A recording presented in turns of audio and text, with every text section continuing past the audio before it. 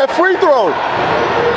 It's right in the book. They just made a mistake on the clock, and you know, by rule, you got to go within the book. I know. Okay. But they didn't. They didn't But put it on. me to explain it, explain it right, so that way they got it. I got it. I got you though. I understood. You know, not, I love all anybody working our kids straight out the gate. Right. He said, "No, you're right."